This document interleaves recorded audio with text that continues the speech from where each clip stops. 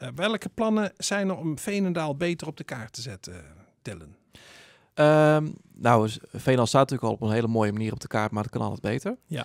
Eh, een van de dingen die uit een recent koopsomonderzoek van de provincie Utrecht is gekomen, dat eh, is ons winkelcentrum. Die wordt op dit moment, eh, de klanten daarvan, die komen voor 47% buiten Veenendaal. Dat betekent dat nog steeds een regionaal winkelcentrum zijn. Ja. En dat betekent dat ook het winkelcentrum, voor, ook voor qua toeristisch Veenendaal, nog steeds heel belangrijk is. Dus die, al die acties die ik net al heb genoemd, die richten we er ook op dat we ook buiten Veenendaal zoveel mogelijk klanten naar ons toe willen trekken. Uh, we kijken ook uh, buiten onze gemeentegrenzen, ook weer de regionale gedachten. Dan kijken we bijvoorbeeld naar Quintelooien, een prachtig natuurgebied dat in, bij onze buren in de gemeente Renen ligt, maar dat uh, voor zo'n 80% wordt bezocht door mensen uit Veenendaal. Ja. En daarom zijn we ook veel met onze Renense collega's in overleg zo van, nou ja, wat gebeurt er allemaal? Wat voor evenement kunnen we daar organiseren? Kunnen we bijvoorbeeld ook een voorziening realiseren wat respect heeft voor de natuurlijke omgeving daar, maar wat ook iets extra's biedt aan mensen om daar naartoe te kunnen komen. Mhm. En een van de dingen waar we nu ook mee bezig zijn, is de organisatie van het uh, Gilbertjaar.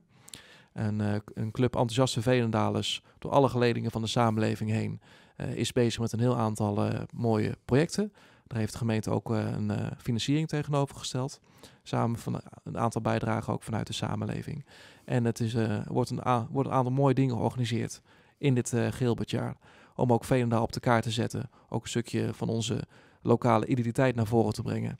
En ook weer ons naar buiten toe te presenteren. Zo van, nou, kom naar Veenendaal. Want hier is heel erg veel moois te beleven. Om te wonen, te werken en ook te winkelen.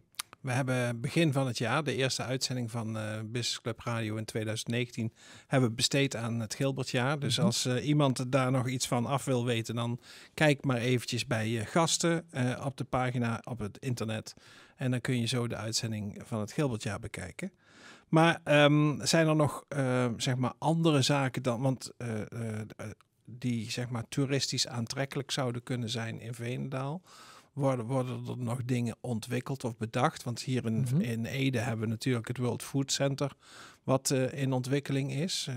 Komen er, zijn er dat soort gedachten ook over Veenendaal? Of nou, is dat nog niet echt? Wat we bijvoorbeeld wel hebben is uh, net over de grens met onze buurgemeente Renswoude, Renswoude ja. hebben we het Fort aan de Buurtsteeg. Uh, vrij recent opgeleverd. Daar mm -hmm. heeft uh, het college van Veenendaal ook een flinke rol in gehad om te kijken zo van nou hoe kunnen we dat op een mooie manier neerzetten. Mijn ja. voorganger Adrianne Hollander heeft dat ook gedaan. Ja.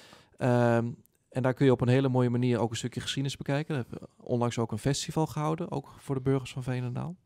En ook dat zijn van die mooie kansen die, waarbij je ook je omgeving betrekt. Mooie groene omgeving om het Veenendaal en ook haar centrum toeristisch aantrekkelijk te houden. Leuk.